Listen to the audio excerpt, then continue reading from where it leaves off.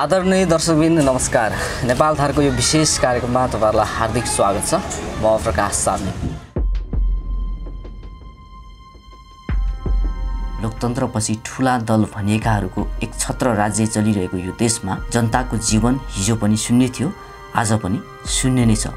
व्यवस्था बदले पनि शासकहरूको चरित्र फेरिएको छैन। गरिबी र बेरोजगारको हालत अहिले पनि उस्तै छ।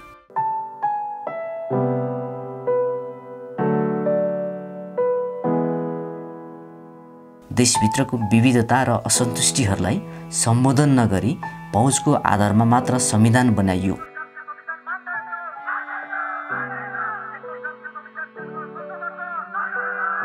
यसले देश गम्भीर खतराको दलदलमा फस्ने सम्भावना उत्तिकै छ।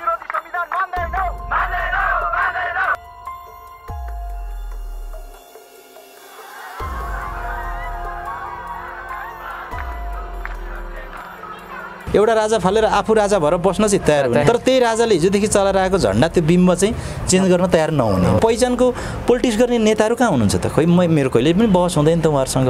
अब हामीले नेतै पनि कसलाई मान्ने? देशमा सङ्घीय लोकतान्त्रिक गणतन्त्र आएपछि पनि राज्यको शक्ति साधन र स्रोतमा सीमित वर्ग वर्ण र लिङ्गको प्रभुत्व कायमी छ। नेपाली राज्य अहिले पनि असमावेशी पथमै छ। कुनै पनि पार्टीले यति बेला सिद्धान्त पढाएको छैन प्रशिक्षण दिएको छैन। सङ्गठित पनि गरिरहेको छ। सङ्गठन कहाँ भइरहेछ त भन्दा दलालहरूका बिचबाट सङ्गठन विस्तार भइरहेछ। ठेकदारहरूले तपाईँको सङ्गठन गरिरहेछ। अब बिचौलियाहरूले तपाईँको सङ्गठन गरिरहेछ होइन? अनि तपाईँको पेटी ठेक्कासम्म पाउँछु कि भनेर तपाईँको कोही कम्युनिस्ट भएको छ कोही काङ्ग्रेस भएको छ होइन? कोही युवा सङ्घमा जोडिएको छ कोही तपाईँको तरुण दलमा जोडिएको कम्युनिस्ट पार्टीको प्रशिक्षण कठोरतापूर्वक लागू गरेर पढाउनु त। त्यहाँ कति दिन टिक्दा रहेछन् ती मान्छे? नेपाली साहित्यका एक प्रखर व्यक्ति हुन् राजन मुकारुङ मुकारुङ सीमान्तकृत समुदायको पक्षमा वकालत गर्ने एक त्यस्तो अराजक अभियन्ता हुन् जसले राज्यको असमावेशी चरित्र सीमान्तकृत तथा उत्पीडित वर्ग समुदायमाथिको उत्पीडन तथा बहिष्करणकै विरुद्ध सिर्जना मार्फत विद्रोह गरिरहेका छन्। त्यो मुभमेन्ट चाहिँ बुमेराङ भएको देख्छु क्या। जस विरुद्ध गर्नुपर्ने आन्दोलन हो गर्नुपर्नेहरू विरुद्ध चाहिँ त्यो आन्दोलन अहिले बुमेराङ भएको छ। हाम्रो नेपालमा पनि त्यो देखिन्छ जस्तो हामीले रुकुम नरसंहारलाई हेऱ्यौँ भने त्यस पछाडि आएका प्रतिक्रियाहरू हेर्ने हो भने को कसले तपाईँको रुकुम नरसंहारलाई तपाईँको कुन ढङ्गले विश्लेषण गर्यो भनेर हेऱ्यौँ भने अधिकांश तपाईँको सत्ताको नजिक रहेका जातिका जाति समुदायका मानिसहरूले रुकुम नरसंहारलाई तपाईँको अर्कै भाषाले प्रस्तुत गर्ने अनि सीमान्तमा पारिएका उत्पीडितहरूले अर्कै भाषाले प्रयोग गर्ने भनेर त्यहीँको अन्तर्बाटबाट द्वन्द्वबाट हामी चिन्न सक्छौँ कि अमेरिका जस्तो राष्ट्रमा ट्रम्प उदाउनु र कठोर ढङ्गले तपाईँको गोरा नस्लवादलाई अगाडि हाँक्नु। यहीँ छिमेकी भारतमा तपाईँको मोदी जस्तो आउनु र तपाईँको धार्मिक सत्ता तपाईँको गर्नको लागि तपाईँ एकदमै बलियो हुनु र तपाईँको नेपालमा आइपुग्दाखेरि भनेको केपी ओली जसले तपाईँको गणतन्त्रको आन्दोलनलाई नै तपाईँको पहिले उडाउनुहुन्थ्यो के? होइन? उडाउनुहुन्थ्यो भनेपछि स्वीकार्नुहुन्न थियो होइन? अब त्यस्तो मान्छे नै अहिले यो सत्ताको कार्यकारी प्रमुख हुनु। हो राजन यस्ता राज्यको गलत सिस्टम विरुद्ध सृजना मार्फत भिडिरहेका छन्। उनका कृतिका स्वरहरू नै अत्याचारको प्रतिकार प्रतिरोध गर्नुपर्छ भन्ने शक्तिशाली बिम्ब हुन् लेखक मात्रै होइन सृजनशील अराजकता साहित्यिक आन्दोलनका अभियन्ता समेत रहेका उनले सांस्कृतिक पहिचानको मुद्दालाई पनि लामो समयदेखि उठाउँदै आइरहेका छन्। पहिचानको मुद्दामै केन्द्रित उनका कृति दामिनी भिरले सीमान्तकृत नेपाली जनजीवनको जीवन्त चित्रण गरी आख्यान साहित्यमा विशिष्ट योगदान पुर्याए बापत दुई हजार उनसत्तरी सालको मदन पुरस्कार समेत जिते।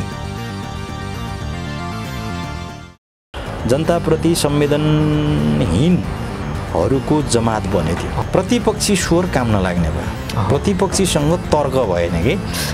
प्रतिपक्षी कमजोर भइदिनाले पनि छाडातन्त्र मौलाएर गएको है। जे गर्दा पनि हुन्छ। दुई तिहाई केही पनि होइन एकजना मान्छे मात्रै पनि बलियो गरी उभिन सक्ने मान्छे सदनमा भयो भने त्यो दुई तिहाई सबै एकछिनमा थरर हुनुपर्छ। निर्मलालाई न्याय दे भन्ने मात्रै आन्दोलन गऱ्यौँ हामीले। होइन? निर्मलाहरू बलात्कृतै हुनु हुँदैन उनीहरूको हत्या नै हुनु हुँदैन भन्ने एङ्गलबाट हामीले मुभमेन्टै गरेका छैन नि त। अब प्रश्न त्यहाँ हुन्छ?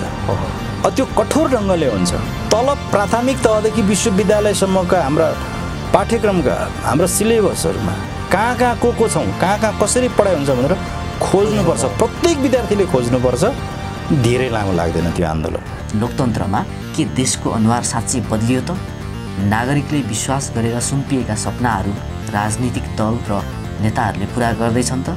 आज समावेशी आरक्षणको कोटाहरू समेत सिद्धाइसकेको बेला सीमान्तकृत तथा उत्पीडित वर्ग समुदायको पक्षका नेताहरू के गर्दैछन् त?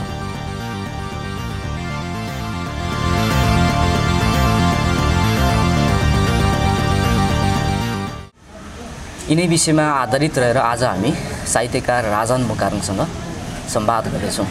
आउनुहोस् उहाँलाई स्वागत गरौँ।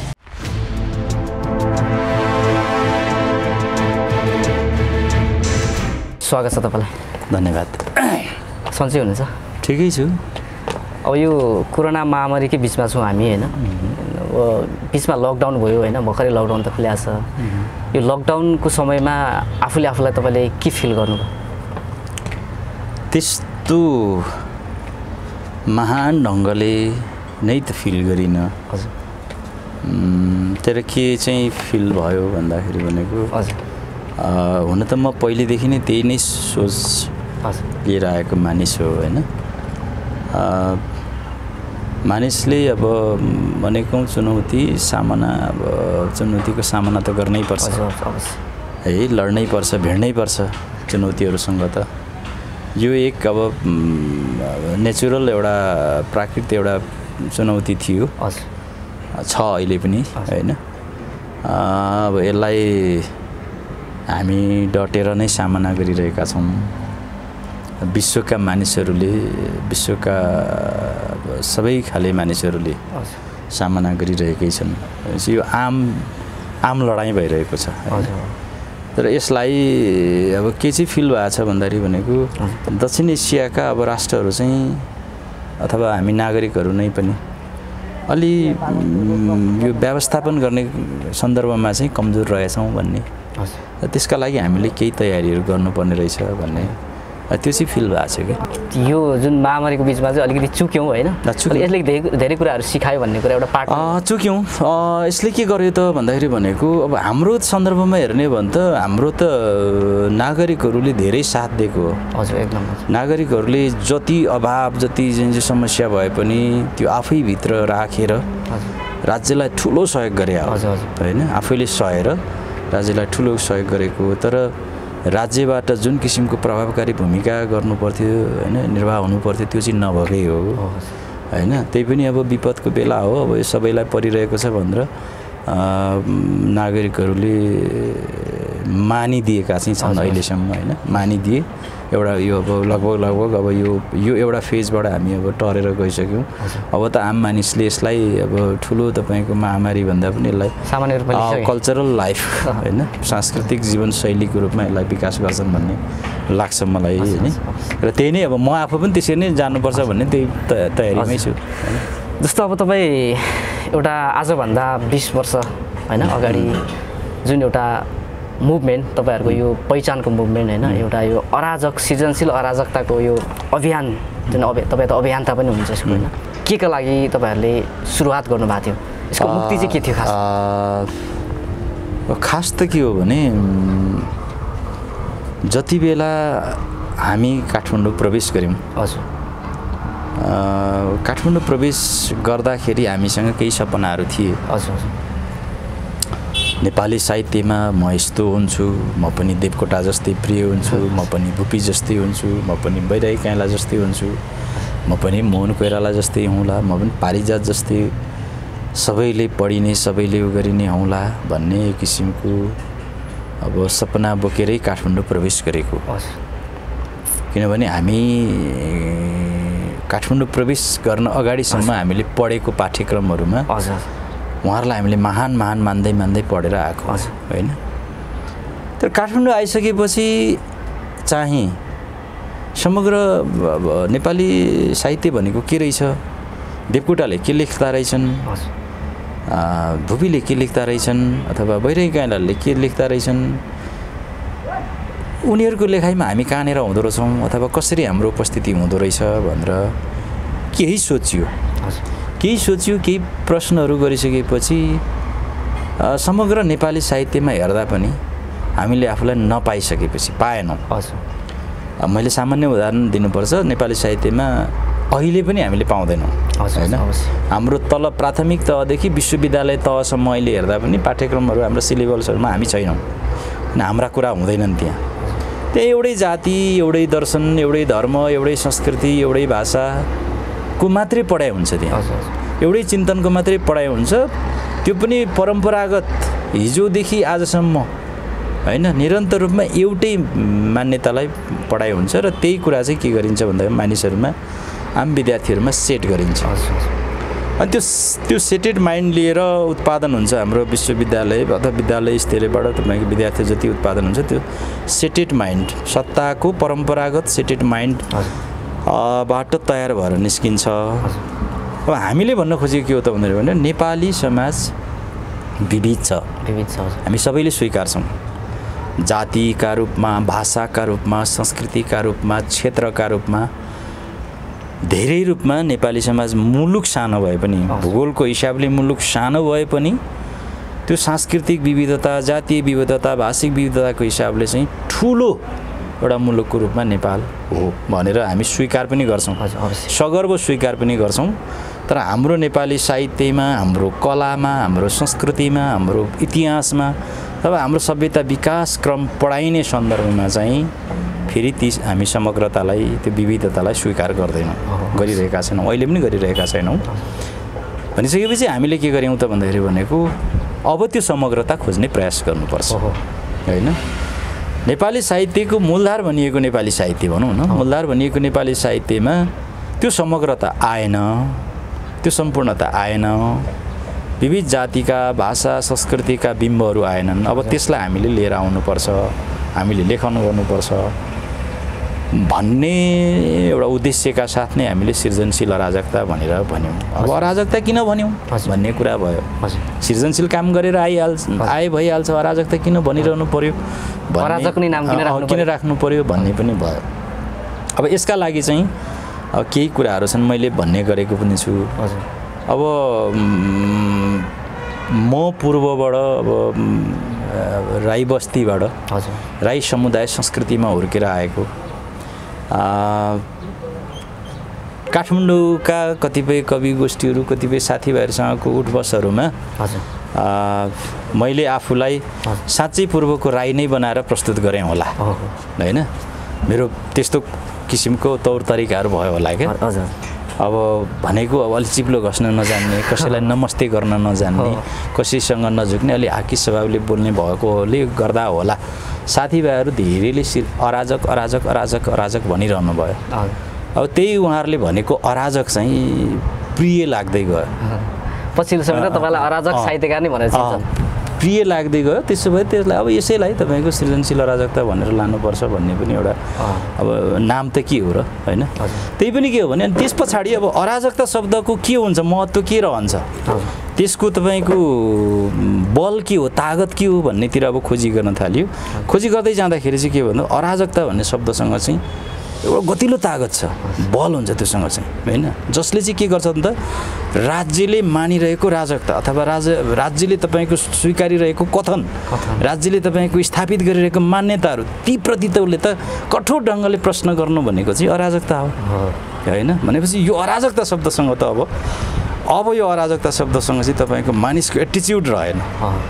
त्यो मान्यताहरूमाथि परम्परागत मान्यताहरूमाथि चाहिँ कठोर प्रश्न गर्ने तपाईँको त्यो ऊर्जा त्यो शक्ति भएको शब्द चाहिँ भयो होइन अराजकता भनेपछि ल यसलाई नै हामीले प्रयोग गरेर लानुपर्छ। यसलाई अब क्रिएटिभ ढङ्गले हामी काम गर्दै जाउँ। कतिपय सन्दर्भमा वस्तुगत अब तपाईँको भौतिक रूपमा पनि अगाडि जानुपर्छ होला पर्ने दिन पनि आउँछ। हामी गयौँ पनि पछिका आन्दोलनहरूमा होइन?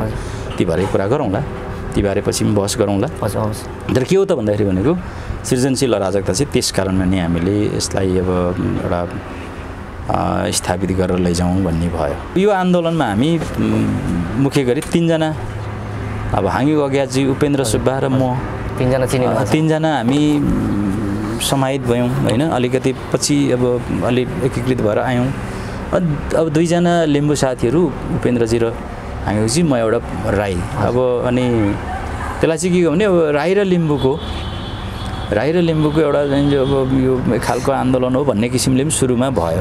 त्यसलाई त्यो त्यो त्यो कुरालाई नै अहिले पनि कतिपय सन्दर्भमा त्यो छ प्रश्नहरू उठ्छ। कतिले त तपाईँहरूलाई जाति जातिहरूमै होइन ठिक छ। अनि के हो के हो त भन्दाखेरि भनेको राईले उठाए पनि लिम्बूले उठाए पनि अथवा तपाईँको कुनै मुसहरले उठाए पनि कुनै सदाले उठाए पनि मधेसको कुनै दलितले उठाए पनि अथवा पाहाडको कुनै दलितले उठाए पनि परम्परागत मान्यतामाथि प्रश्न उठाएर आउनु भनेको। ठुलो कुरा हो।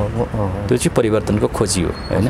अब हाम्रो आन्दोलन भनेको त्यसलाई हामीले ठुलो कुरा गऱ्यौँ भनेर अहिले लाग्दैन। हामीलाई के मात्रै त हुँदैन। परम्परागत मान्यतामाथि प्रश्न गरेर हामी आयौँ भन्ने जस्तो यो बिस वर्ष लगभग आयो होइन? बिस वर्षको अन्तरालमा आउँदाखेरि सिर्जनाबाट नेपाली समाजमा अथवा हाम्रो समुदायमा होइन? हाम्रो कल्चरमा कतिको परिवर्तन ल्याउनको लागि चाहिँ मद्दत गरे अथवा कस्तो खालको प्रभाव पारे त छ? एक त के हो भने हामी जति बेला हामीले आन्दोलन घोषणा गऱ्यौँ त्यति बेला नेपालमा जनयुद्ध चलिरहेकै थियो। हजुर। जनयुद्ध पनि तपाईँको के भइरहेको थियो त भन्दाखेरि भनेको जनयुद्धले पनि माओवादी जनयुद्धले पनि जातीय मुक्ति मोर्चाहरू निर्माण गरिसकेको थियो। होइन? त्यसो त छयालिसको परिवर्तन पछाडि अडचालिसको संसदीय चुनावको परिणामपछि नै असन्तुष्टिका स्वरहरू आउँदै उठ्न थालेकै हुन्। संसदीय पद्धतिले मात्रै हाम्रो कुराहरू सुनवाई नहुने रहेछ भन्ने बोध सबैमा हुन थालेकै हो। त्यसलाई तपाईँको अब खम्बुवान राष्ट्रिय मुक्ति मोर्चाको नाममा लिम्बुवान राष्ट्रिय मुक्ति मोर्चाको नाममा अथवा तपाईँको त्यो आन्दोलनमा पूर्वबाट एक खालको अब गोपाल खम्बु भक्तराज कन्दङ्वाहरूले तपाईँको आन्दोलन छेडिरहनै भएको थियो गरिरहनै भएको थियो। त्यसको अब प्रभाव पनि हामीमा छँदै थियो। होइन हामी आफै स्वयं त्यो आन्दोलनको आँधी उठिरहेको पोलिटिकल आँधी उठिरहेकै बेला हामीले सांस्कृतिक रूपमा साहित्यिक रूपमा हामीले पनि पहल गऱ्यौँ होइन पहल थाल्यौँ। त्यसलाई के भने त्यो आन्दोलनसँगै जोड्नुपर्छ। किनभने त्यो आन्दोलनको वातावरणले नै कतै न कतै हामीलाई पनि प्रभावित उद्वेलित गरेको हो भनेर हामीले भन्नुपर्छ। किनभने आम पिपुलमा अथवा आम मानिसहरूमा आउने जुन चेतनाको एउटा हुन्छ त्यसलाई कहीँ न कहीँ एउटा पोलिटिकल प्रभाव भइ नै हाल्छ। त्यसले हामीलाई पनि के गर्यो त भन्दाखेरि उत्प्रेरित गर्यो र होइन हाम्रो कुरा खोजी गर्नुपर्छ भन्नेतिर बढी भयो। अब के हो त भन्दाखेरि भनेको माओवादी जनयुद्धको तपाईँको आन्दोलनको क्लाइमेक्सको चरण हो अन्ठाउन्न उन्साठी साठी। बैसठी त्रिसठीको आन्दोलनले त त्यसले आम रूपमै एउटा तपाईँको सबै दलहरूसँग सकार्य गरेर एउटा एउटा संस्था फाल्नै पर्यो होइन। तर जब सन्ताउन्न साल अन्ठाउन्न सालदेखि तपाईँको माओवादीले के गर्यो त भन्दाखेरि भनेको उनीहरूको त्यति बेलासम्म तपाईँको वर्गीय आन्दोलन मात्रै थियो वर्गीय मोर्चाहरू मात्रै थियो। त्यसले मात्रै सम्भव नहुने रहेछ भनेर त्यो आन्दोलनलाई त्यो जनयुद्धलाई चाहिँ तपाईँको जातीय रूपमा पनि मोर्चाहरू निर्माण गरेर माओवादीले अगाडि आफूलाई बढायो। त्यो भनिसकेपछि पहिचानको मुद्दा अब पेचिलो हुन थाल्यो झन्। पोलिटिकल रूपमै पेचिलो भएर गयो। अब बैसठी त्रिसठीको त्यस पछाडि अब माओवादीले देशैभर प्र- देशैभर समुदाय समुदायमा प्रभाव पनि पारेर लग्यो। होइन? त्यसरी जातीय मोर्चाहरू निर्माण भएपछि समुदायमा पनि पुगेर प्रभाव पार्यो। त्यही भएको कारणले त्यो आन्दोलन शक्तिशाली हुँदै आएर बैसठी त्रिसठीमा अरू संसदीय दलका दलहरू पनि तपाईँको जोडिनु पऱ्यो र एउटा राज संस्था भन्ने पुरानो संस्थालाई हामीले विदा गर्न बाध्य भयौँ। अब यसले के गर्यो? अब अथवा के प्रभाव पार्यो भन्ने भन्दा पनि अब हामीले हामीले हाम्रो कुराहरू भन्यौँ। हाम्रा सांस्कृतिक बिम्बहरू प्रयोग गऱ्यौँ हाम्रा मिथहरू प्रयोग गऱ्यौँ। त्यसो त हामीभन्दा अगाडि पनि हाम्रा अग्रज कविहरूले पनि प्रयोग नगर्नु भएको होइन। गर्नुभएको कुरा नउठाउनु भएको होइन। उठाउनु भएको हो होइन थुप्रै अग्रजहरूले विभिन्न किसिमले कतिले बिम्बमा कतिले विचारमा पनि लेखन नगर्नु भएको होइन। गर्नुभएकै हो। हाम्रो अब इतिहास त अब लामो छ पूर्वको त्यसमाथि पनि राई लिम्बूहरूको। अझ हामी राईहरूको त तपाईँको सात सालको काङ्ग्रेसको क्रान्तिमै पनि हाम्रा अब पूर्वका राईहरू रामप्रसाद राई नारद मेन्थुलुङहरूको भिपीसँग दिल्ली सम्झौतासँग असहमति हुँदै पनि अब प्रश्नहरू उठेर आएकै छन् विद्रोहहरू भएकै छन् सिंहदरबार विद्रोहसम्म भएर आएकै छन् होइन। भनेको त्यो असन्तुष्टिको एउटा लामो परम्परा। हामीसँग छ र हामीले त्यो कुराहरू भनेर आयौँ र त्यही कुराहरू नै हामीले साहित्यमा अलिक घनीभूत ढङ्गले अलिक त्यसलाई अलिक संस्थागत गर्दै अलिक सामूहिक ढङ्गले लेखन गरौँ भन्ने किसिमको एउटा अभियान नै त्यसरी नै त्यो त्यो आन्दोलन नै छिडिएको र त्यस पछाडि त्यस पछाडि तपाईँको कम्तीमा पनि अहिले अब हामी के देख्छौँ त भन्दा नेपाली साहित्यमा अब कम्तीमा यति बेला आइपुग्दाखेरि सबैले आफूलाई लेख्ने प्रयत्न गरिरहेको छ। हामीले के गरेका थियौँ भन्दाखेरि भने प्रत्येक मान्छेले आफूलाई खोज्नुपर्छ। आफूलाई खोज्न थालेपछि उसले आफ्नो समुदाय खोज्छ आफ्नो संस्कृति खोज्छ आफ्नो भाषा खोज्छ आफ्नो सभ्यता खोज्छ आफ्नो इतिहास खोज्छ इतिहासहरूको पुनर्मूल्याङ्कनहरू गर्छ। होइन? त्यो कुरा नै गरिनुपर्छ र त्यही कुराले चाहिँ के गर्छ भने त नेपाली साहित्यलाई समृद्ध बनाउँछ नेपाली बाङ्मयलाई फराकिलो पनि आकार दिन्छ भन्ने कुरा हो भएको। तर अहिले अब लेख्न चाहिँ थालिएको छ।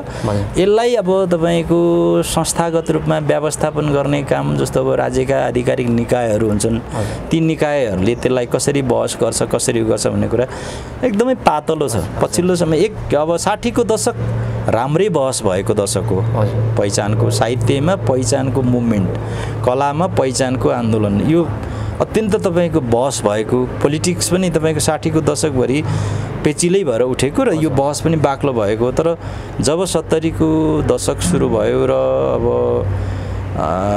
अहिले त अब आइपुग्दाखेरि नेकपाको दुई तिहाई बहुमतकै सरकार भइसक्दाखेरि चाहिँ यी आन्दोलनहरू यी स्वरहरू अलिक सानो भएका छन् कि अव्यवस्थित छन् कि भन्ने जस्तो भएको छ। जुन पहिचानको मुद्दा चाहिँ पेचिलो बनेर आएको थियो होइन? एकदमै उग्र पनि बनेर आएको थियो होइन? एकता एकदम पहिचानवादीहरू चाहिँ भनौँ न एउटा मोर्चाबन्दी तरिकाले विभिन्न सङ्गठनिक तरिकाले अगाडि बढाएको थिए तर अहिलेको सेरिफेरोमा आउँदाखेरि यो पहिचानको मुद्दा अलिकति डराएको हो कि होइन? अथवा अलिकति लुकेको हो कि? तपाईँले भने जस्तै सत्ताको पछाडि लागेर अथवा सत्ताको छेउछाउ लागेर चाहिँ त्यो डराएको होइन भएको के हो भन्दाखेरि भनेको सङ्घीय गणतन्त्र। हजुर। पहिचान सहितको सङ्घीय गणतन्त्र। हाम्रो आन्दोलनको मूल ध्येय थियो। हजुर। हामी अहिले पनि त्यहाँ छौँ। के भइदिएको छ त भन्दाखेरि भनेको पहिचान सहितको भन्ने वाक्यांश चाहिँ अहिले डिलेट छ।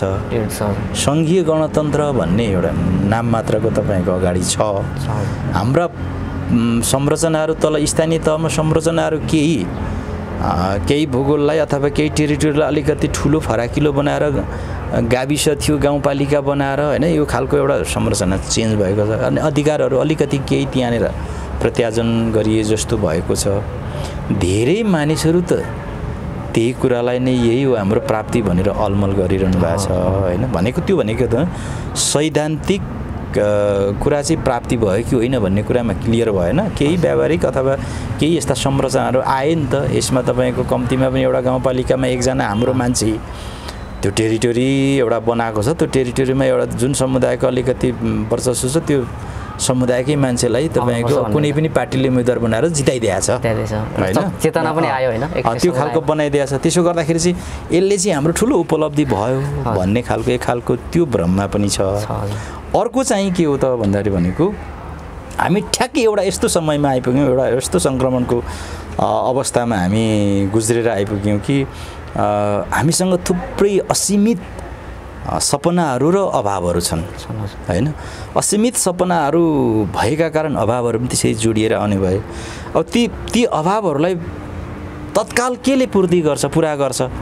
भन्ने तपाईँको सन्दर्भमा मानिसले के गर्यो भन्दाखेरि भनेको त्यो पत तत्काल तपाईँको पुरा गर्ने तिर बढी केन्द्रित भयो मानिस। केन्द्रित भइसकेपछि अहिले के हो त भन्दाखेरि भनेको पार्टीको नीति सिद्धान्त अथवा प्रशिक्षणबाट कोही पनि सदस्य बनिएको छैन अहिले।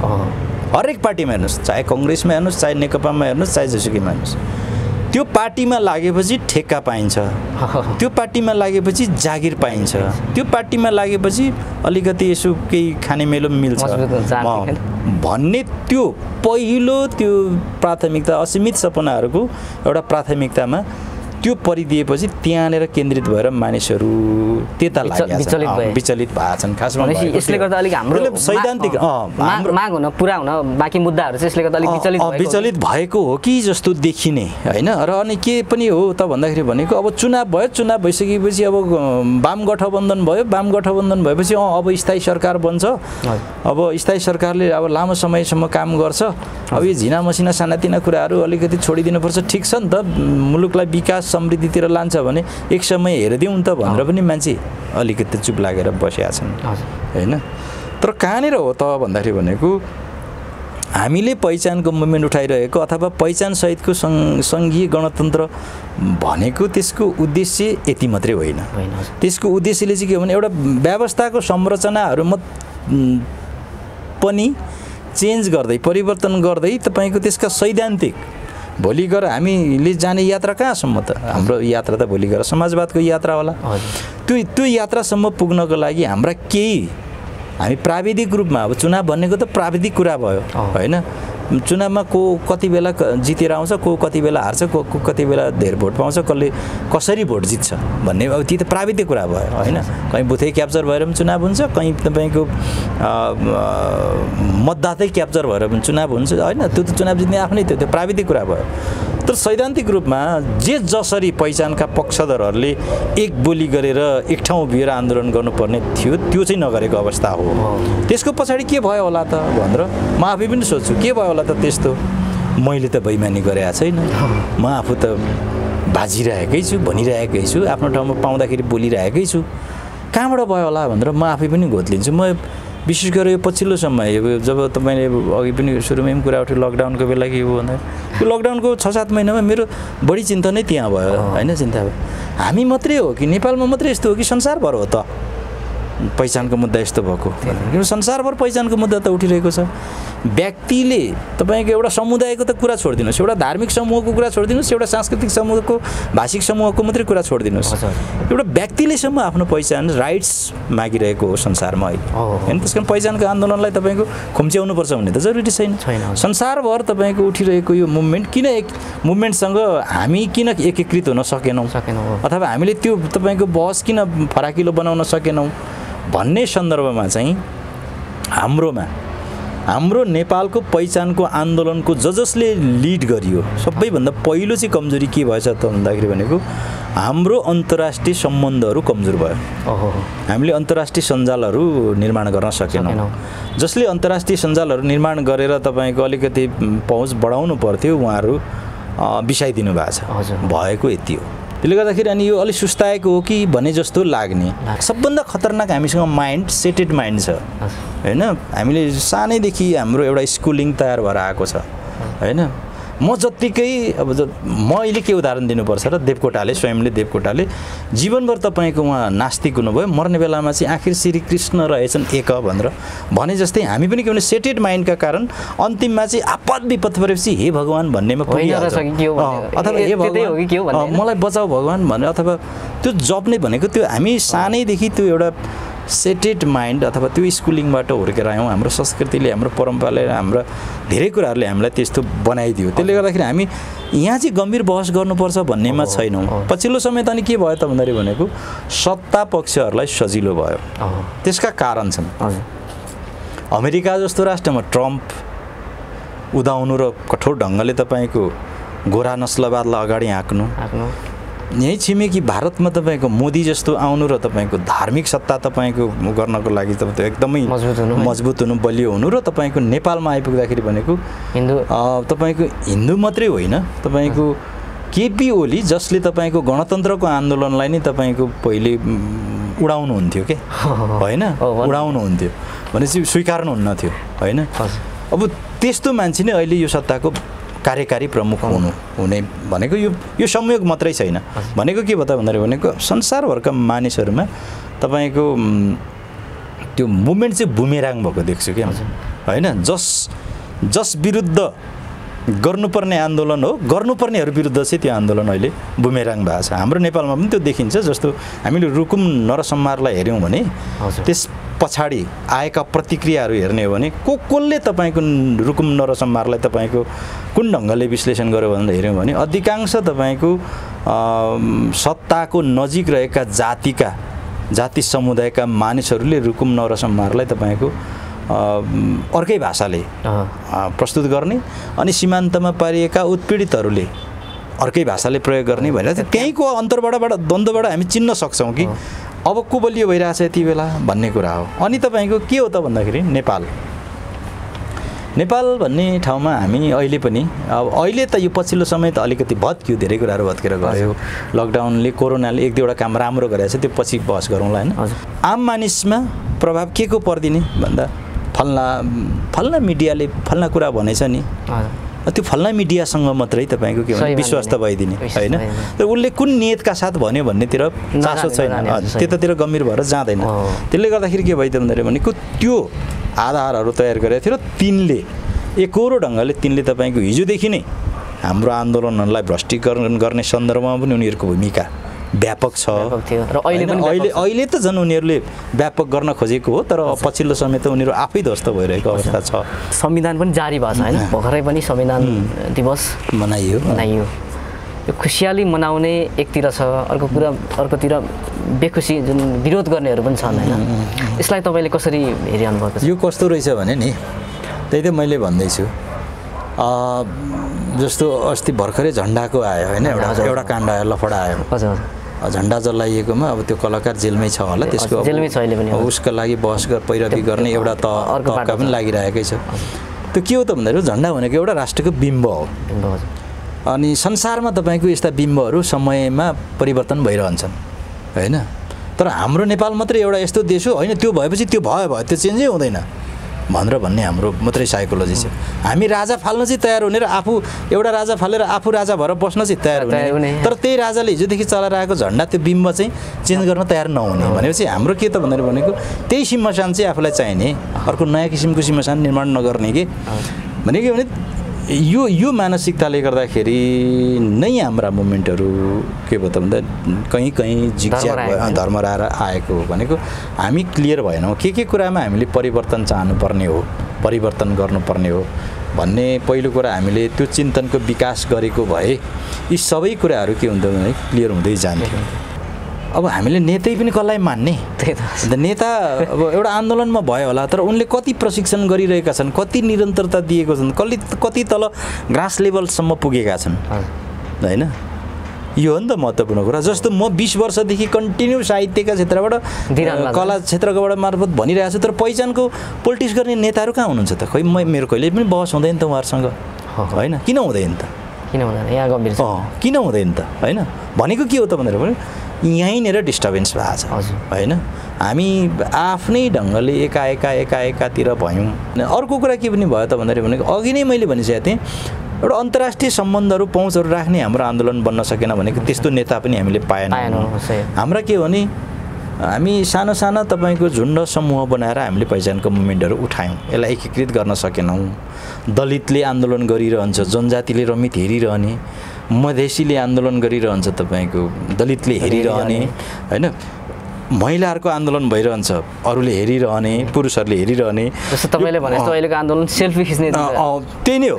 तपाईँको के भन्दा भनेको सबैभन्दा बढी त सोखको आन्दोलन भयो कतिपय आन्दोलनहरू उठ्छ जस्तो उठ्छ अनि त्यहाँदेखि त्यो आन्दोलनले चाहिँ के गर्दैछ भन्दा अ यसले अब केही गर्छ होला भनेर भन्दा भन्दै तर त्यो किन बिचमा त्यत्तिकै सकिन्छ भन्दाखेरि भनेको त्यो एउटा आवेगको भरमा मात्रै आएको हुन्छ। त्यो विचारधारा अथवा त्यसले यो तपाईँको चेन्ज गर्नुपर्छ भनेर आएको हुँदैन। होइन? पहिलो कुरा के हो त भने जस्तो निर्मला पन्तको विरुद्धमा अहिले पनि आन्दोलन त्यो- बलात्कारका विरुद्ध अहिले पनि हत्याका विरुद्ध अहिले पनि आन्दोलन उठिरहेकै छ चलिरहेकै छ बेला बेला आइरहन्छ होइन? तर हामीले के गऱ्यौँ त भन्दाखेरि भनेको निर्मलालाई न्याय दे भन्ने मात्रै आन्दोलन गऱ्यौँ हामीले। होइन? निर्मलाहरू बलात्कृतै हुनु हुँदैन उनीहरूको हत्या नै हुनु हुँदैन भन्ने एङ्गलबाट हामीले मुभमेन्टै गरेका छैन नि त। त्यो त्यो एङ्गलबाट त हामीले सोचेर आन्दोलन पनि पछि त बलात्कृत भए। भइरहन्छन् भइरह- भइरहेकै छन् के भन्दाखेरि भनेको ब्या अब त्यो मानसिकता हो नि त चेन्ज गराउनु पर्ने त। त्यसको लागि के कुन कुन तहबाट मुभमेन्ट गर्ने भनेर त हामीले विमर्शै गरेका छैन। छलफलै गरेका छैन। त्यसले गर्दाखेरि हाम्रा मुभमेन्टहरू के भयो त भनेर भनेको आफ्नो आफ्नो पाराले भयो। महिलाहरूले गरिरहन्छ पुरुषहरूले रमित हेरिरहने जनजातिले गरिरहन्छ दलितहरूले रमित हेरिरहने दलितहरूले गर्छ जनजातिहरूले रमित हेरिरहने मधेस आन्दोलनमा उठिरहन्छ पहाडीहरूले। हेरिरहने रमित हेरिरहने यसो गर्दाखेरि चाहिँ सत्ता पक्षलाई चाहिँ सजिलो भयो। उसले त त्यसै पनि फुटाउ र शासन गर भन्ने हो। अनि उसले त्यही त्यहाँदेखि त्यही चाहने। अनि त्यहाँदेखि केही टाठाबाठा जस्ता समुदायका त्यस्ता वर्गका केही टाठाबाठा जस्ता मान्छे छ भने ठ्याक्क लगेर कहीँ एउटा ठाउँमा जिम्मेवारी पनि दिइहाल्ने। अब त्यो जिम्मेवारी दिन भ्याइएन भने पनि यस्तै अवसर आउँछ पदक सदक पनि दिइहाल्ने होइन। पदक दिएपछि त एक वर्ष जति त बोल्नु मिलेन नि त। सरकारको विरुद्ध मदन पुरस्कार विजेता पनि हुनुभयो होइन दामिनी वीर लगायतका। पछिल्लो समय तपाईँले भर्खरै मात्र दुई चार महिना अगाडि होइन हाटा जाने अघिल्लो रात होइन सार्वजनिक गर्नुभएको थियो। त्यो सार्वजनिक कार्यक्रम पनि तपाईँले बोल्नु भएको थियो क्या। हामी हाम्रो मागहरू चाहिँ अब रोएर कराएर हुँदैन होइन? यो जिउ जिउ भएर हुँदैन।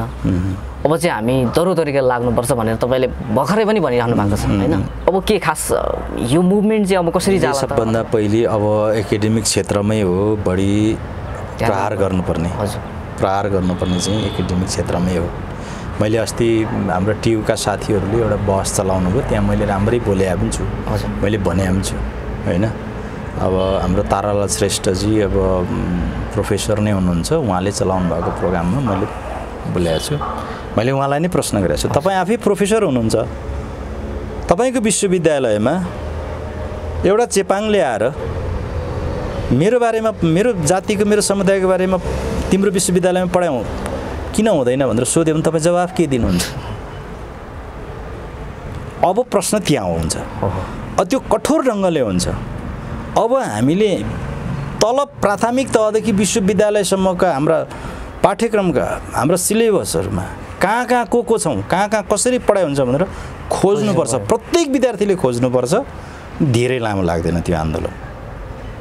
होइन? म एउटा राईको छोरा हुँ। मैले विश्वविद्यालयमा जाँदाखेरि कम्तीमा राईको समाज संस्कृति सभ्यताबारे पढ्न किन नपाउने? हो होइन?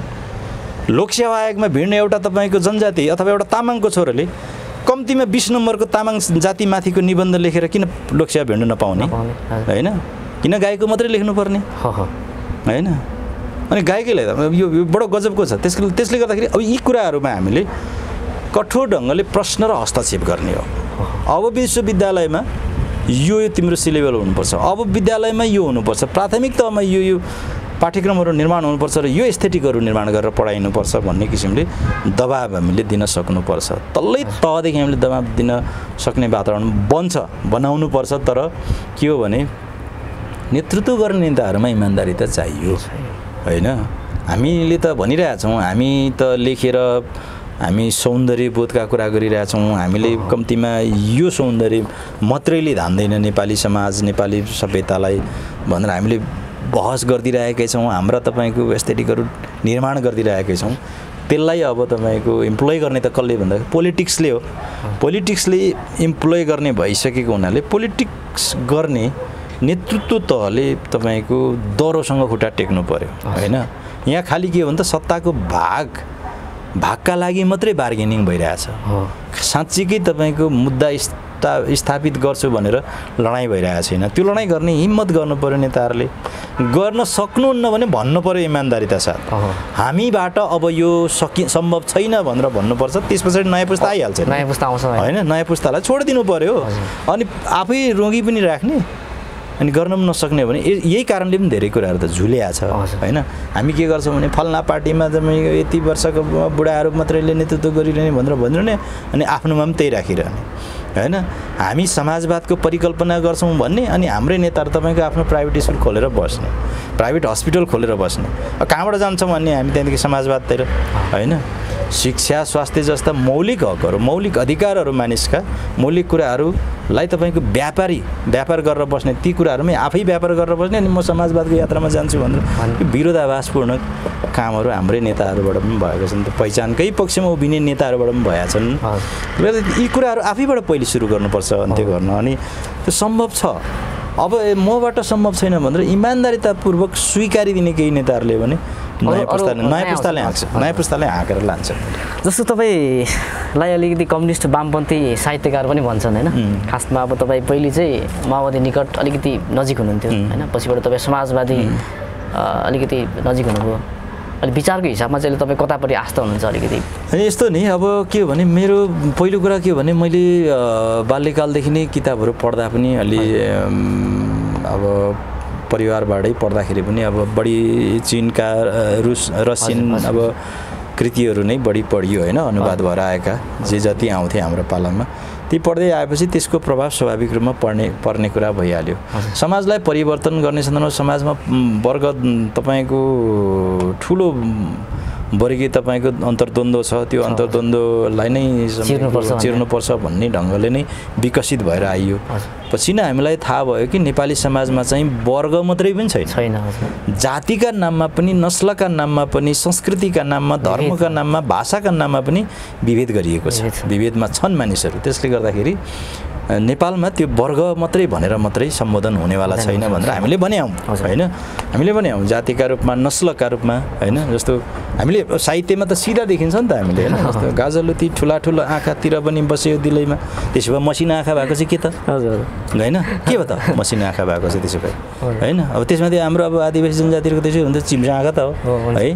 अनि त्यो आँखा चाहिँ त्यसो आँखै हो नि त? होइन त। होइन? हामीले पढाएर त हामीलाई त तर ठुला ठुला आँखा भनेर पढाएर ल्यायो नि त हो। त्यसले गर्दा त्यो एस्थेटिकहरू चेन्ज हुनुपर्छ। अनि मात्रै तपाईँको विविध अथवा समतामूलक समाजको निर्माण चाहिँ तब मात्रै हामीले निर्माण गर्न सक्छौँ भन्ने कुरा केही ढङ्गबाट हामीले हाम्रो आर्टबाट होइन हाम्रो मेटाफोरहरूबाट हामीले त्यो प्रयोग गरेर ल्याएका हौँ र भनेर आएका हौँ। सो नेपाली समाजमा नेपाली पोलिटिक्समा पनि यो छ। अन्तर भाइ बन्धु तपाईँको यति खतरनाक ढङ्गले विकसित भएको छ कि अब अहिले कोही कोही बेला यसो सामाजिक सञ्जालमा राख्छन् नि साथीभाइहरूले। राष्ट्रपति बाहुन प्रधानमन्त्री बाहुन न्यायाधीश बाहुन के जाति भन्दै भन्दै ल्याउँछ नि त सोह्र सत्रजनाको लिस्ट ल्याउँछन्। अनि यसो हेर साँच्ची बाहुनै बाहुन मात्रै छन् नि त। हामीलाई पनि लाग्छ नि त। किन समावेशी हुन सकेन होला होइन? अनि के हो त भन्दाखेरि भनेको हाम्रो तौर तरिकाहरू नै सबै यी यी कुराहरू सुन्दा सामान्य लाग्न सक्छ मान्छेलाई। सुन्दा सामान्य लाग्छ तर त्यो चाहिँ गम्भीर कुरा के हो त भन्दाखेरि भनेको तपाईँलाई तपाईँ अब परीक्षा ल तपाईँको यो आरक्षण सारक्षणको कुरामा पनि नजाउँ। होइन? के ल खुलैमा जाउँ अरे भेट्न जाउँला अरे। मानिलिनुहोस् तपाईँको गोरुको निबन्ध लेख्न लायो। होइन? चारजना बसे परीक्षा दिन। एउटा तामाङ बस्यो एउटा लिम्बू बस्यो एउटा राई बस्यो र एउटा ब्राह्मण बस्यो। मानिलिउँ। चारजना बसेर गऱ्यो भने उनीहरूले त्यो गोरुको बारे निबन्ध लेख्दै ल्याउँदाखेरि त्यो ब्राह्मणले अन्तमा के लेखी पठाउँछ त भन्दाखेरि भने जे भए पनि चार खुट्टा हुन्छ चा दुईवटा सिङ हुन्छ कान हुन्छ गोरुलाई जोतिन्छ भन्दै ल्याउँछ। उसले उसले अन्तिममा के पनि लेख्न बिर्सिँदैन भन्दाखेरि भनेको गोरु चाहिँ होइन गाईबाट जन्मन्छ गाई चाहिँ हाम्रो। होइन? माता हो। माता भनेर भन्छ माता भनेर उसले लेख्छ। इन्ट उसले त्यसरी गर्छ। होइन? अब तामाङले लेख्दै हुँदाखेरि उसले के भने गोरु यसरी जोतिन्छ यस्तो यस्तो हुन्छ त्यो उसले अन्तिममा के गर्छ भने अनि काटेर खाइन्छ। भनेर उसले लेख्छ कि? अब तर यहाँ के हुन्छ त भने उसले उसले आफ्नो कुरा सही लेख्या। हो तर गलत। तर के हुन्छ भन्दाखेरि काटेर खाइन्छ भनेर लेख्ने चाहिँ फेल हुन्छ। कुरा बुझ्नुभयो नि? भनेको के भन्दा भनेको हाम्रो संरचना चाहिँ त्यो भएको हुनाले यी कुराहरूमा कहाँ कहाँनिर छ त? होइन? विभेदहरू कहाँ कहाँ कसरी भएको हुन्छ? खोज्नु पऱ्यो त्यो देखा रूपमा अदेखा रूपमा कानुनी रूपमा होइन? विभेदहरू गरिएको मुलुकहरू र त्यो विभेदहरू भएको छ भन्ने कुराहरू हामीले खुट्याइदिन सक्नुपर्छ र तिनै कुराहरूबाट हामीले अगाडि बढ्यौँ भने नेपालमा अब एक्काइसौँ शताब्दी भनिया छ एक्काइसौँ शताब्दीको हामी हौँ भन्छन् होइन मान्छे ठुल्ठुलो जातीय कुरा गर्नु हुँदैन साम्प्रदायिक कुरा गर्नु? हुँदैन सङ्कीर्ण हुनु हुँदैन भनेर कम्ती खोक्दैनन् तर यो खोक्नेहरू सबै सत्ताको भाषा बोलिरहेका हुन्छन्। सत्ताको नजिक भएर त्यो त्यो चिन्तनबाट? जस्तो के हुन्छ भने मलाई भन्छ कि। तपाईँ एक्काइसौँ शताब्दीमा आएर पनि यस्तो राई लिम्बू मात्रैको अथवा जनजाति। मात्रैको कुरा उठाउने अथवा उनीहरूको मात्रै लेखक हुँ भने जस्तो पारले गर्नु एकदम लाग्दैन गाह्रो लाग्दैन भनेर भन्छ। देवकोटाले बाहुनकै कुरा लेख्दा। भयो। है? लेखनाथ पौडीले तपाईँको त झन् नैतिक शिक्षै लेखेर आएको। उनलाई पनि हामीले कवि सिरौनी मान्दैकै छ त। त्यसले गर्दाखेरि के रहेछ भने कवि लेखकले त आफ्नो समुदाय नै त लेखेर ल्याउँदो रहेछ। उनीहरूले लेख्दा चाहिँ उनीहरू मानवतावादी हुने हामीले लेख्यो भने चाहिँ हामी जातीयतावादी होइन यो दृष्टिकोण क्या हजुर यो दृष्टि यो सबै त्यो। निरन्तर छ। त्यसलाई नै हामीले। चिर्ने म कम्युनिस्ट त्यो आइडियोलोजीबाट नै। मार्क्सवादी एउटा विचारधाराबाट त्योबाटै म हुर्किँदै आएँ अथवा त्यो उत्प्रेरणाहरू त्यो जोसहरू जाँगरहरू म त्यहाँ भयो म त्यो पार्टीमा सङ्गठित पनि भएँ काम पनि गरेँ। होइन पछिल्लो समय अब पछिल्लो समय जसरी तपाईँको जनयुद्धको नामबाट तपाईँको एकीकृत गर्दै सबै जातिहरूलाई मोर्चाहरू? निर्माण गर्दै त्यो आयो त्यो त्यसमा सहभागी नहुने कुरै थिएन थिएन तर जब अब जनयुद्धको नेतृत्व गरेको माओवादी नै सत्तामा पुग्यो। सत्तामा पुगिसकेपछि उसले जसरी जातीय मोर्चाहरू विघटन गर्दै अथवा उसलाई अधिकारविहीन बनाउँदै लग्यो त्यस पछाडि यो पार्टीले अब यो कुराहरू छोड्छ भन्ने कुराहरू निश्चित निश्चित थियो। थिएरै मैले के गरेँ त भन्दाखेरि भनेको संयोगले त्यही बेला अशोक राईहरूले तपाईँको के गर्नुभयो भन्दाखेरि भनेको नयाँ पार्टी अब खोल्नुभयो पहिचानको पक्षमा हामी यसरी लड्छौँ भनेर खोल्नुभयो त्यसमा म सङ्गठित भएँ होइन? अहिले पनि म के त भन्दाखेरि भनेको पहिचानको पक्षमा जसले तपाईँको प्रतिबद्ध भएर तपाईँको। आन्दोलन गर्छ ऊ त्यसको पक्षमा त म सिधा छँदैछु। हामी त जानु त समाजवादमा छ। समाजवादमा जाने तपाईँको प्रतिबद्धताका साथ पहिचानको मुभमेन्टलाई पक्रिने कुनै पनि पार्टी कुनै पनि पार्टीमा तपाईँको सङ्गठित हुन मलाई कुनै आपत्ति हुँदैन तर पहिचानको मुद्दा। उत्पीडित। उत्पीडित वर्गहरूको मुद्दा चाहिँ उठाउनु उठाउनु पर्यो र। गन्तव्य तपाईँको समाजवाद समाजवाद राख्नु पर्यो भनेपछि अहिलेको निकट चाहिँ तपाईँ समाजवादी निकट हुनुहुन्छ भन्ने त्यही त्यो त्यही नै। बुझ्दा हुन्छ जस्तो यो आउने चुनावमा तपाईँ अब टिकट पाउने सम्भावना कतिको छ त्यो त पार्टीले दिए त अब त्यस्तै हो तर अब तपाईँ लड्न तयार हुनुहुन्छ? अब म त मैले त मैले त बार बार भन्छु नि। म अहिले पनि भन्छु तपाईँलाई किन नदिएको त? हाम्रो चान्स किन नदिएको हाम्रो अहिले त जसपा भएको छ। जसपाकै हाम्रो नेताहरूलाई म बार बार जिस्काउने गर्छु। जिम्मेवार दिन्छु भने म जहाँ भूगोलमा गएर प्रदेशमा गएर हेर भन्छु भने त्यहाँ पनि गर्छु। तिमीहरूको यतै कतै राख्छौ भने पनि म गरिदिन्छु। तर देऊ न भनेर भन्छु दिँदैनन् साथीहरूले। किन दिँदैनन् त्यो चाहिँ? भोलि अहिले जसरी तपाईँले उत्पीडित वर्गको सीमान्तकृत वर्गको आवाज बोलिरहनु भएको छ सत्तामा पुगेपछि तपाईँ पनि त्यही त हुने होइन नि फेरि यति टिकट पाइसकेपछि? अब हुँदिनँ भनेरै प्रयत्न गर्ने हो। जनता निराश भइसक्यो कि? ओ कसलाई विश्वास गर्ने भइसक्यो कि? यस्तो हो। अब यो के रहेछ भने मैले अघि भने नि। हजुर। तपाईँले त्यहाँनिर नै सेन्टर गर्नुपर्छ। हजुर। कुनै पनि पार्टीले यति बेला सिद्धान्त पढाएको छैन प्रशिक्षण दिएको छैन। सङ्गठित पनि गरिरहेछ सङ्गठन कहाँ भइरहेछ त भन्दा दलालहरूका बिचबाट सङ्गठन विस्तार भइरहेछ। भित्रभित्रै। ठेकदारहरूले तपाईँको सङ्गठन गरिरहेछ अब बिचौलियाहरूले तपाईँको सङ्गठन गरिरहेछ होइन? अनि तपाईँको पेटी ठेक्कासम्म पाउँछु कि भनेर तपाईँको कोही कम्युनिस्ट। भएको छ कोही काङ्ग्रेस भएको छ होइन? कोही युवा सङ्घमा जोडिएको छ कोही तपाईँको तरुण दलमा जोडिएको जनप्रति पार्टीका अलिकति नजिकका भएका मान्छेहरूले डोजर किनेका छन् तिनीले किनेका छन् तपाईँको ऊ सानातिना यातायातहरू अब त्यसै चलाउन पाइन्छ। अब त्यहीबाट अलिकति यसो जीविका जीविका उपार्जन गर्न पाइन्छ भनेर मानिस त त्यहाँ सङ्गठित यसलाई। कसरी बुझ्ने कि जस्तो स्थानीय सरकार पुग्यो होइन त्यहाँनिर युवाहरू सक्रिय भए राजनीति राजनीतिक पार्टीप्रति प्रति होइन यसलाई के भन्ने चासो भन्ने कि अथवा त्यो एउटा फाइदाको लागि हो भन्ने? फाइदाकै लागि हो। तपाईँको के भने त्यहाँ पनि कठोरतापूर्वक ल कम्युनिस्ट पार्टीको प्रशिक्षण कठोरतापूर्वक लागू गरेर पढाउनु त। त्यहाँ कति दिन टिक्दा रहेछन् ती मान्छे? होइन? त्यही अनुसारको तपाईँको लेबी तिराउनु त्यही अनुसारको अनुशासनमा राखो नि त। होइन? हिजो जसरी कम्युनिस्टहरू तपाईँको अनुशासित भएर आएको थियो अहिले पनि त्यसरी राखो नि त। कति दिन टिक्दा रहेछन् ती? त्यहाँ त कम्तीमा ठेक्का गर्न पाइएछ दलाल गर्नु पाइएछ हुल हुज्जत गरेर गुन्डागर्दी गरेर तपाईँ थर्काउनु व्यापारी थर्काउनु पाइएछ र पो रमाइलो गर्नलाई पैसा पाइएछ र पो तपाईँको गाउँको एउटा घरको तपाईँको उत्तिसकै रुख। होइन? पाँच हजारमा किनेर भए पनि पचास हजारमा बेच्न पाइरहेछन् नि त साथीभाइहरूले। हजुर। होइन? यो यो कुरो यो यो पाटाहरूबाट तपाईँको के भइरहेछन् भन्दा सङ्गठनहरू निर्माण भइरहेछ पार्टीहरू। यो दिगो होइन। यो दिगो होइन। तर के हो त भन्दाखेरि भनेको मानिसले मैले सुरुमै भनेको थिएँ असीमित सपनाहरूका बिच प्राथमिकता के हो मानिसको? भोक। होइन? भोकसँग तपाईँको जुझ्नको लागि मानिसहरूले सिद्धान्तहरू विचारहरूलाई अलिकति पर राखिरहेछ भएको यति नै हो होइन? अहिले अहिले नेपालको तपाईँको हाम्रो सामाजिक जीवनमा भइरहेको अवस्था त्यही हो। धेरै कुरा चाहिँ नेपाली समाजको मनोविज्ञान के भयो त भन्दा देखासिकीबाट भयो होइन? त साठी लाख एक्काइस वर्षदेखि पैँतालिस वर्षसम्मका तपाईँको युवाहरू सा सरदर साठी लाखको हाराहारीमा तपाईँको विदेशमा रोजगारीमा छन् रोजगार गर्छन् होइन विदेशमा छन्। तिनले पठाएको रेमिटेन्सबाट तपाईँको परिवारहरू धानिरहेछ राज्यलाई कुनै चासो प्रवाह छैन कसले के गर्दैछ भनेर होइन?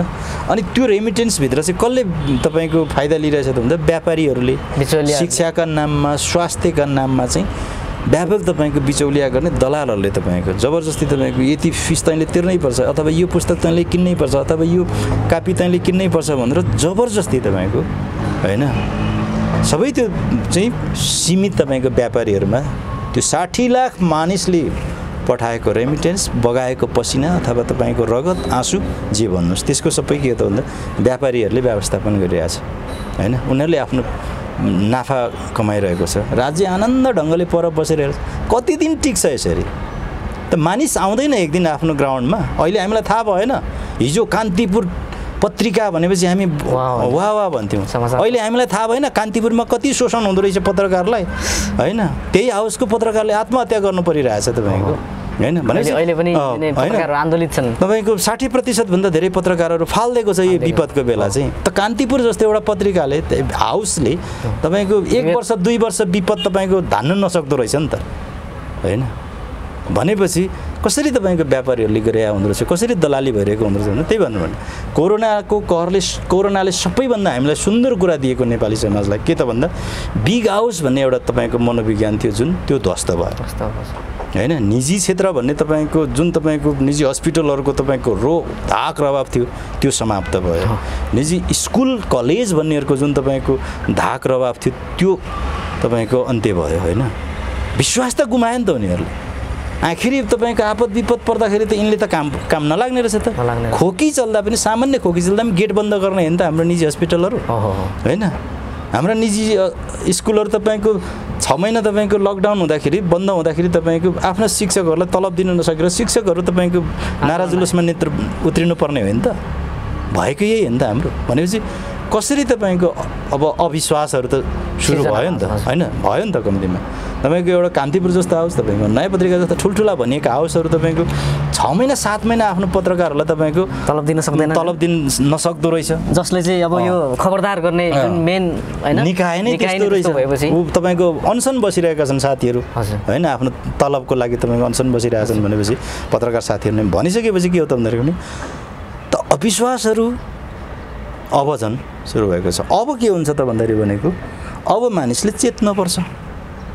ज्ञान हामीले ठुलो ज्ञानहरू यति बेला हामीले लिन सक्छौँ। होइन?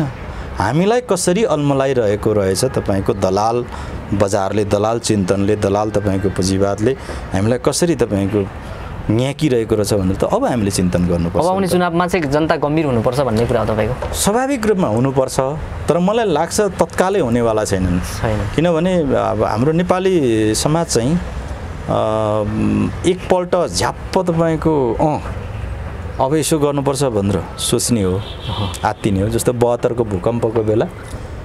खुब हामीले चेत्यौँ ए मलाई मानिसको जीवनमा यो श्री सम्पत्ति घर घडी भन्ने केही होइन रहेछ भने छ सात महिना पछाडि बिर्स्यौँ फेरि हामीले त्यही व्यापार व्यापार व्यवसाय गर्न थाल्यौँ।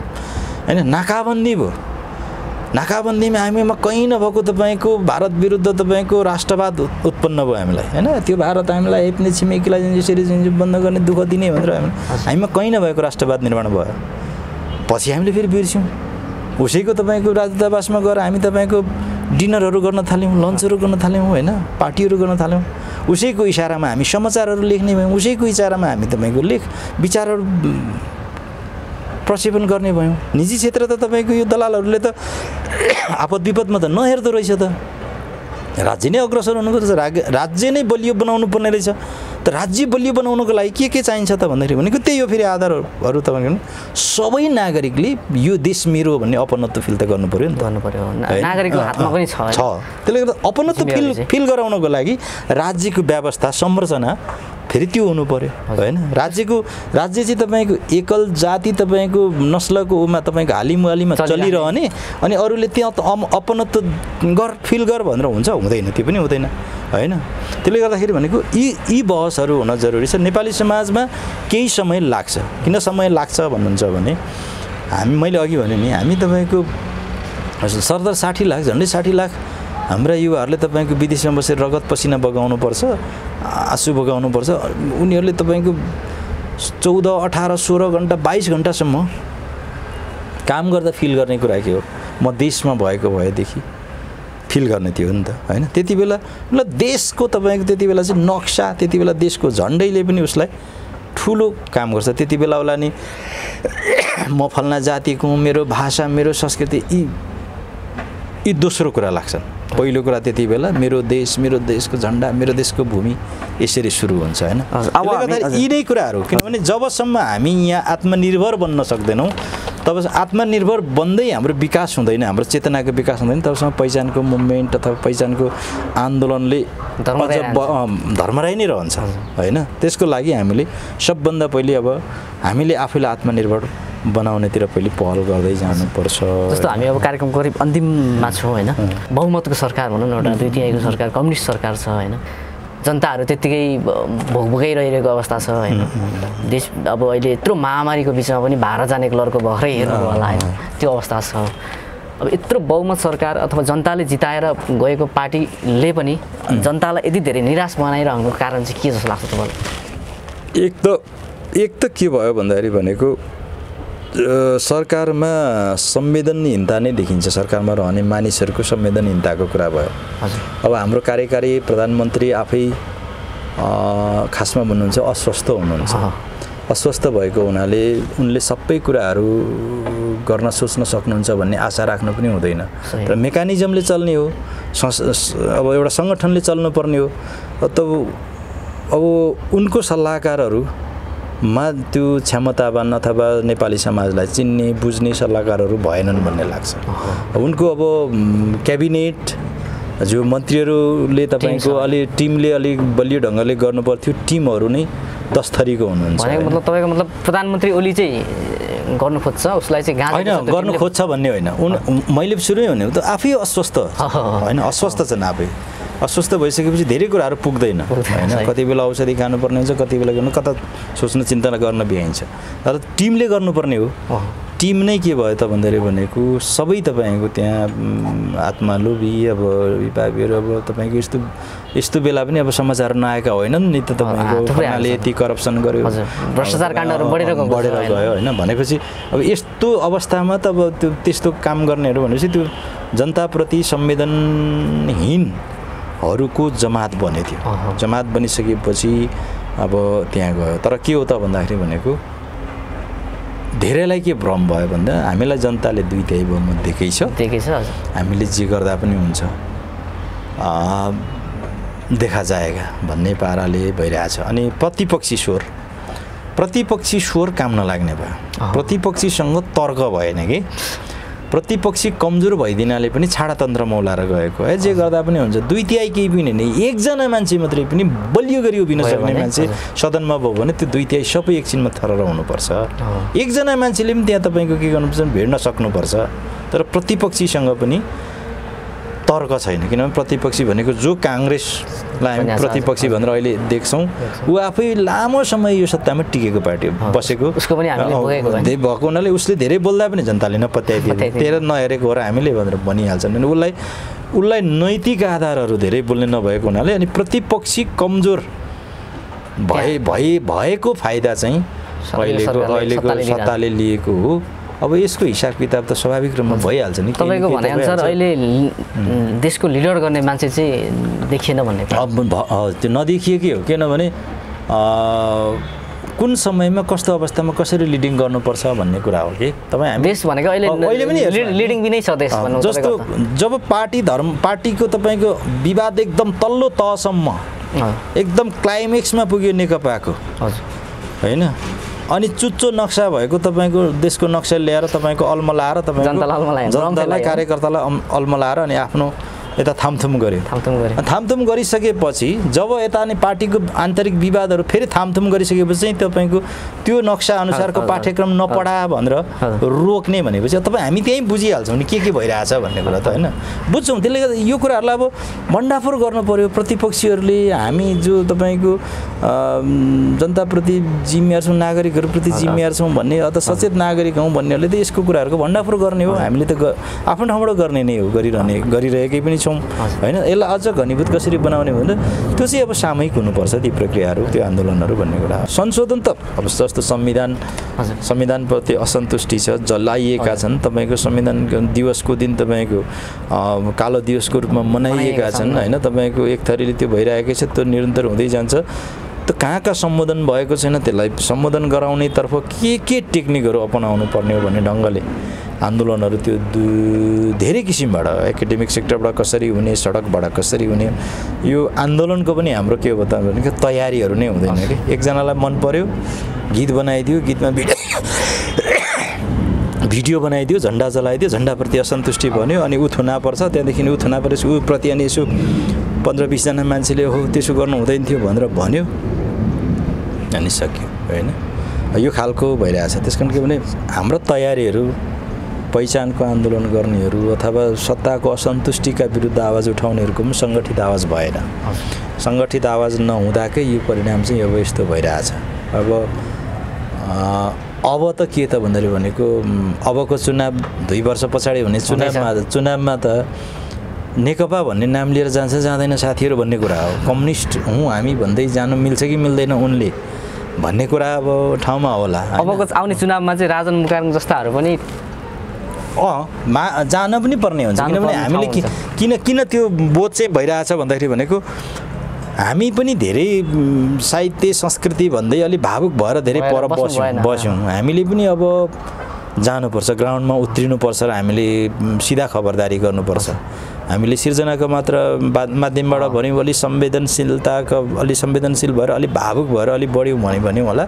त्यही भएर त्यसको प्रभाव अलिक कम पर्यो कि भन्ने पनि महसुस चाहिँ छ त्यसकारण हामी हामी जस्ता जस्तो राजन मुकारुङ म होइन। म जस्ता धेरै मानिसहरू धेरै मानिसहरू हामी अब जानुपर्छ। तपाईँले हृदयदेखि चाहिँ भित्री हृदयले चाहिँ कतिको बोध गर्नु भएको छ? मै मेरो पनि यो चाहिँ अब काम हो। अबको लिडर लिडरहरूले काम दिएन होइन? अथवा होइन म म एक टाइम अस्ति मैले अब हाम्रो अब आन्दोलन मिल्ने अथवा सङ्गठन मिल्ने पार्टी मिल्ने केही साथीहरूसँग मैले बिचमा गरेँ हौँ। कि पहिलेको पहिलेको सङ्घीय समाजवादी सुरुको सङ्घीय समाजवादी पार्टी बिउताउँ त। होइन? न- मेरो नेतृत्वमा बिउताउँछु म भनेर मैले एक चरण छलफल पनि चलाएको हुँ। किनभने मलाई साँच्चीकै सबैतिरबाट असन्तुष्टि थियो। अब यो पाराले हुँदैन भनेर। तर हामीले अनि के पनि अब सोच्ने हो त भन्दा हाम्रा एक चरण हामीले अझै पनि लाग्नुपर्छ। जो लिडरहरू छन् लिडरहरूलाई एकचोटि हामीले प्रष्टसँग सोधेर तिमी यो यो काम गर्छौ कि गर्दैनौ त? नत्र हामी छौँ नत्र हामी छौँ भनेर भन्नुपर्छ भन्ने ढङ्गले। अनि फेरि त्यो अहिले पहल भइरहेछ बहस भइरहेछ होइन। यो यो कुराहरू गरिनुपर्छ भनेर भइरहेछ। अब त्यही पनि अब अहिले खुलेर अब बाहिर जान सक्ने स्थिति भौतिक रूपमा सबै कुरा जान सक्ने स्थिति यति बेला छैन तर अब केही सहज त बन्ला। भन्दै जान्छ बनाउँदै पनि लानुपर्छ र जाँदै पनि जानुपर्छ। र जानुपर्छ। म राजन मुकारुङ होइन। राजन मुकारुङ। थुप्रै। थुप्रै मान्छेहरूले भिड्नुपर्छ अब गएर किनभने जनतासँग जानुपर्छ जनतासँग साक्षात्कार गर्नुपर्छ जनतालाई तपाईँको प्रशिक्षित गर्नुपर्छ जनताका कुरा सुन्नुपर्छ अनि अनि आउँछ। नयाँ नयाँ नेपाल चाहिँ अनि चाहिँ निर्माण गरिन्छ होला। हस्। आजको हाम्रो यो कार्यक्रममा होइन समय दिनुभयो त्यसको लागि तपाईँलाई धेरै धेरै धन्यवाद।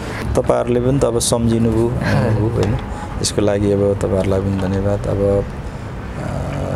दर्शकहरूले होइन शुभचिन्तकहरूले हेर्नुभयो सुन्नुभयो। उहाँहरूलाई पनि धेरै धेरै धन्यवाद।